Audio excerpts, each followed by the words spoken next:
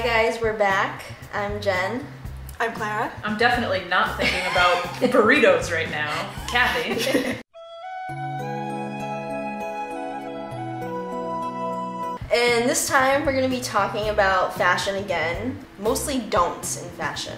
Our first topic is denim on denim. I think it's acceptable as long as you're using two different types of washes. Yeah, like a dark and a light. Yes. Yes. You know what I think?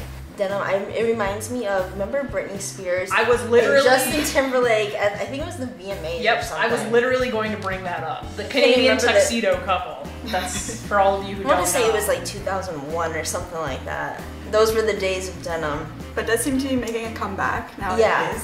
I think Katy Perry actually kind of channeled that recently, like last year maybe. She used them as inspiration, but she did the denim on denim. And yeah, I agree. I think if you're using different washes, it's fine. Also, different like fits. Like if you're gonna mix denim, have something that's more fitted to your body, like a pair of skinny jeans and like a Yeah. bigger sort of, um, not bulkier, but a larger sort of um, like denim jacket Yeah. works too. I mean, denim's just the all American fabric.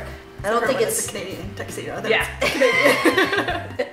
Yeah, Why I don't it- think. Why is it called a Canadian tuxedo? What's the story behind that?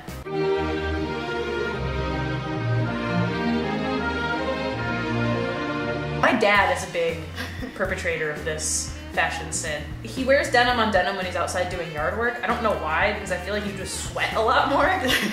but every time I see him like mowing the grass, I'm like, Dad, why?